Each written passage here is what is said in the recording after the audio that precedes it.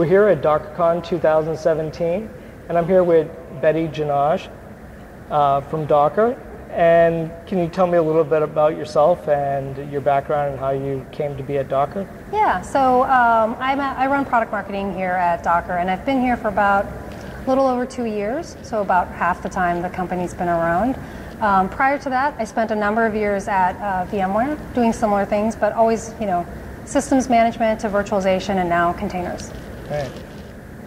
So Docker's made some announcements in the, the past few months. Can you tell me a little bit about what's new?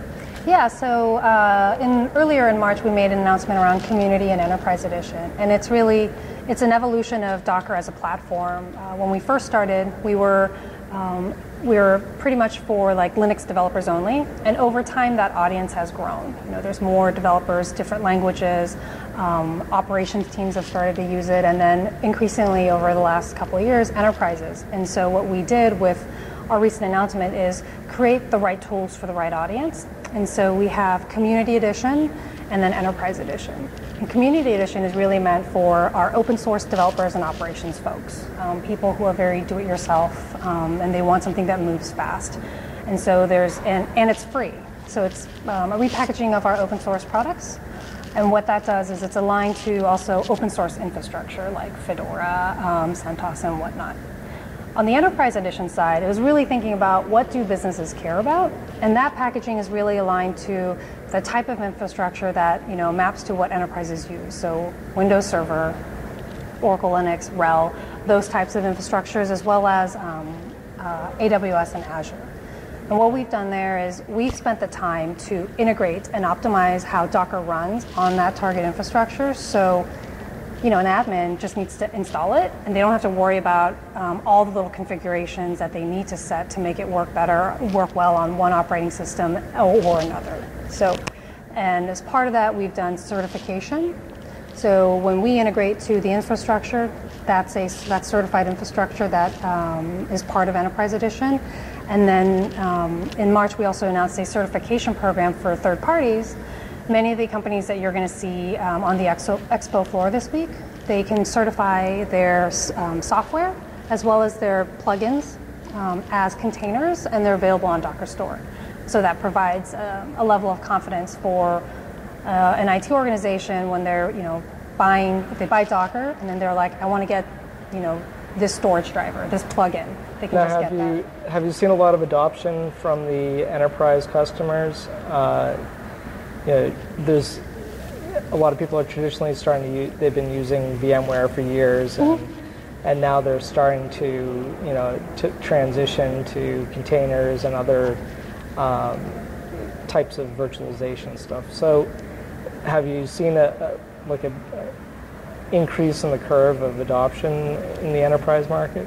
Yeah, so um, we have a lot of enterprise customers, and when you look at the DockerCon agenda, um, the vast majority of the organizations speaking are enterprises.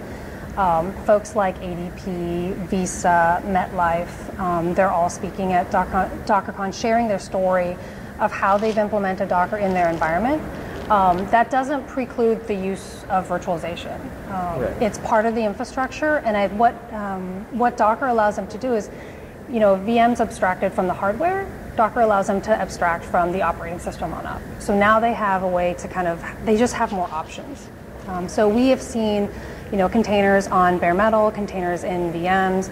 Uh, we've seen a range, and we've also seen a mix, right? Because you could have, you know, multiple containers inside of a VM, and that is your template, right? Or you could have, um, or could, you could use a compose file as your container template. I think it really it just provides more more flexibility um, for the admin at deployment time on how they want to handle their infrastructure. So, what's some of the, um, you know, we talked about VMs versus uh, mm-hmm. containers. What are the big differences that you see between, you know, using a traditional VM versus using a container? Yeah, so um, what's interesting is we always get like, isn't this just a lightweight VM? And no, it's different. Right. Um, mostly because architecturally, containers share the, um, many containers on a host, on the same host will share the kernel of that operating system. Um, whereas in a, with VMs, the VM itself has a full copy of the operating system. So it, what you can get with the VM is on a on a single physical box, you can have five different operating systems running on that, right? Because they're all inside of a virtual machine. I mean, that's why it's effectively a machine, right? In the container world, um, if you had one server um, and has, let's say, you know, Linux running on it, it can only have Linux containers. So um, the isolation is at the kind of application and code level, not at the full machine level. Kind of like the old old school uh, user mode Linux. Yes. Yeah. Um, so, what's some of the cool things that people can check out while they're at uh, DockerCon? Yeah, so we have, um, well, there's something like 50 amazing full breakout sessions um, led by uh, Docker engineers diving deep into the technology, um, various customers, and um, leading open source users about how they're using Docker to, you know, build amazing new services, do uh, genomics, big data processing, or taking, you know, legacy apps and kind of cons- converting them over time to be microservices. And we also have folks in our ecosystem presenting in their tracks so you can see how their technologies are working with um, containers and hands on labs, the keynotes, um, lots of great, uh, exciting stuff coming in the two keynotes on Tuesday and Wednesday. Those are live streamed as well. We're looking forward to it. So, It'll be a good time. um, so we're gonna we'll post these up on our website as well with uh, links so that you guys can check out the live streams and see what's happening here.